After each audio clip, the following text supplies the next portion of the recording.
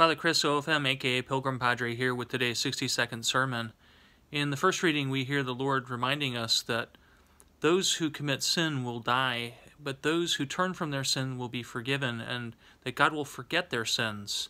And in the psalm today, we hear this promise that it is God Himself. With Him there is kindness and plenteous redemption, fullness of redemption, and that He is the one who will redeem us from all our iniquities.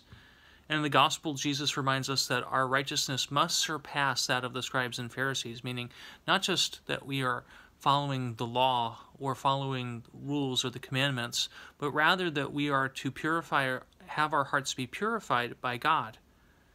So the Lord reminds us that it's not just whether we do certain deeds, but where our hearts are at. And so we ask the Lord for the proper heart attitude that we need to have our hearts be changed in Jesus' name, amen.